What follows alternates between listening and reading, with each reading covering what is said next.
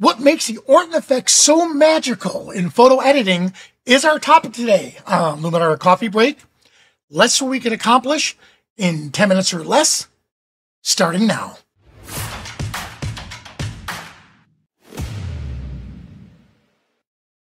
Hello, everyone. All right, so the Orton effect, um, first of all, what is it? So it started out back in the 80s. Uh, a gentleman by the name of Michael Orton created this really cool effect where he took two images, same images, and he overlaid them on top of each other. One was soft, one was hard. And they put them together, or sharp. They put them together, and then he did this really cool effect to it. So I joke and say it's, it's like a sweet and sour sauce. All right. Um, he did this incredible effect, and this is back in the 80s. And it gave that really cool, dreamy type look but at the same time kept the main element sharp and dynamic. So let me give you a little preview of it. So here's an image of um uh, this bird I took a while back. Yeah, well, you know what? Let me see the um what's the I shot this at okay, 5.6. Um and it was an old camera back then. So I shot it with the uh, Nikon uh, D300 7200 5.6. And yeah, notice everything is in focus. It just, ah, there's nothing to it. There's nothing really dynamic about this image. But watch this. When we apply the Orton effect, look at the change we can do. From this, look at the tree, the bark, here to here. And I went a little heavy just to show just to show the difference. But look at that. Look at the difference we were able to do. All right. Well, let's dive in how we're going to do this. First step, just like we always do, I'm going to come in and I do have to edit the image. Now, I didn't do this earlier, but I'm going to do it now. I am going to do Noiseless because, again, it was shot with a D300. So I fixed the noise. That looks good. Now I'm going to come in with develop.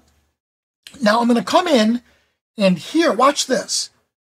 I am going to use some of the camera settings.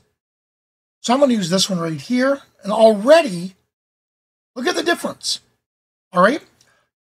Let's enrich the black tones, bring out the whites. That's it. Highlights. So you're used to this already. So let's bring out a little more of the shadows. All right. So let's see the overall. Here we are before after. All right, so we're off to a good start. And like I said, it looks good, but now let's get creative. So I'm just going to hide these a little bit here, just collapsing them. I'll come down to creative, and you're going to find the Orton effect right here where the glow, the glow tool is. Here they are, Orton, Orton Soft. I'm going to click on the Orton effect, and I'm going to give it just arbitrary amount. I'll go back and adjust it. I'm going to zoom in a little bit. Already look at the difference. Look how it's making that the, the softness and the sharpness at the same time. But I'm going to dial back some of the brightness in the darker areas. Let's bump up the softness a little bit. I'll go to an extreme so you can see the difference. Look, look, look where how the softening, it's not affecting the bird, but notice how it's affecting everything around it. And here's contrast. If I want to go with a flat, or I can go deeper. I don't want to blow up, I don't want to muddy up the shadows. So let's just bring it in here. And let's look at the difference. Before, Now close. After. Let's look at the bird closer. One more time. Ready? Before. After. Look at that. And then from here again, I could adjust it. I could come back in with the masking. Let's say the brush. Let's say erase the effect just a little bit. Let's say right up in here. All right, let's see if that makes a difference. Yep, I like where it's at. There we have it. All right, so that's what the Orton effect is doing. Now, let's take it a step further. I'm going to combine it with the blur tool. And let's use Gaussian blur. Let's go to an extreme. It's way too much. Let's go right about, yeah, right about here. Subtle, but then let's use a radial gradient And I want to apply the effect to everything but the bird. So right now it's applying it to the bird. Let's invert it. And let's see if it makes a difference. Yeah, look at that. Look how it's just giving me just enough. Because honestly, I, I kind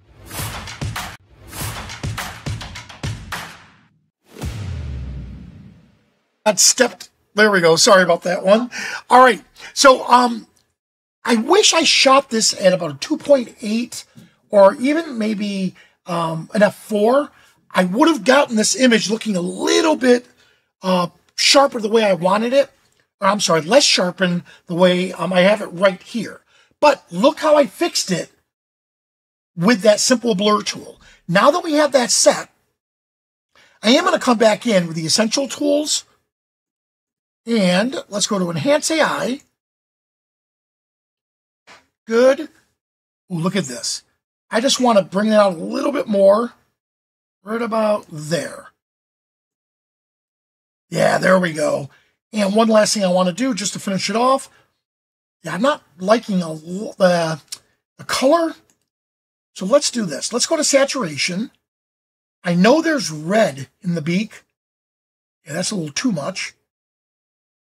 But you know what? Let's let's enhance it. Let's take the hue and change the hue of that red. Right about there. Now the orange. There we go. Now I'm bringing it out more. And saturation of the orange. There we go. And of course, watch the eyes now. Look how we're.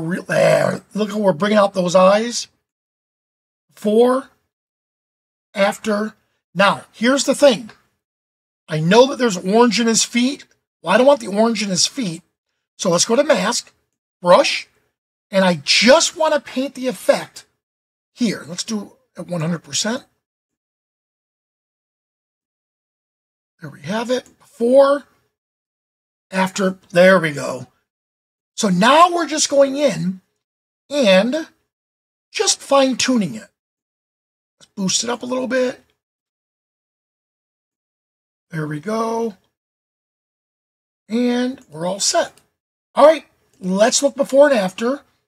So here's the original we started with. Ready?